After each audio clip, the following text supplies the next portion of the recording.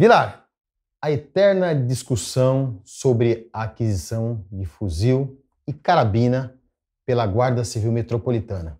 Estamos com a imagem aqui atrás, Vilar. Estou meio confuso. Se você puder me ajudar, é, essa polícia, que polícia que é essa que está usando essa? É carabina, né? Se não estiver enganado, é uma carabina. Que eles estão usando. É, não estou identificando. É, então. É, vamos dar uma olhadinha aqui, né?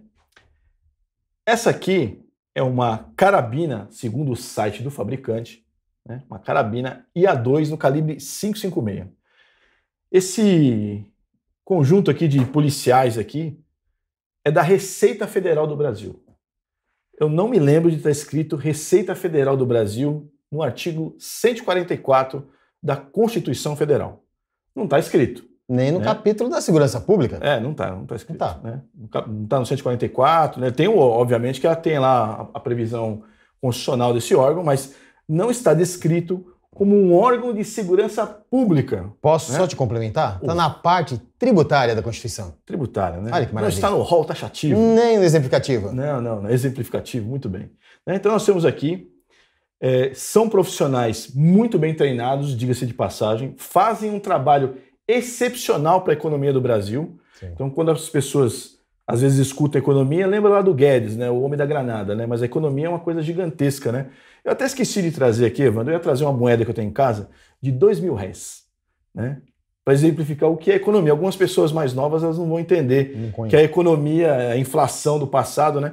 Então, cara, quanto você ganha mesmo? Dois mil. Falei, Então, tá, pega essa moeda É aqui e vai fazer sua compra lá, né? O mês inteiro. Mas vamos voltar. Trabalhar aqui. por uma moeda. Um órgão de fiscalização. Tá? A prin- A principal função da Receita Federal, fiscalização.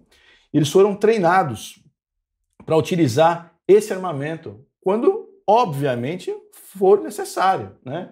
For necessário. Nós vamos colocar uma outra imagem aqui, vai aparecer aqui para quem está assistindo o nosso, nosso Fique por Dentro, que é do programa que passou no Discovery Channel, que é Área Restrita, que faz, inclusive, matéria sobre a Receita Federal, a Polícia Federal, nos aeroportos, né?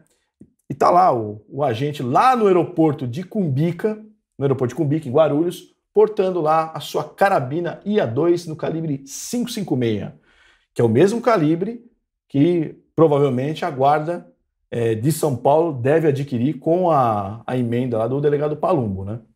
Vilar, só para explicar um pouco melhor para as pessoas, esses profissionais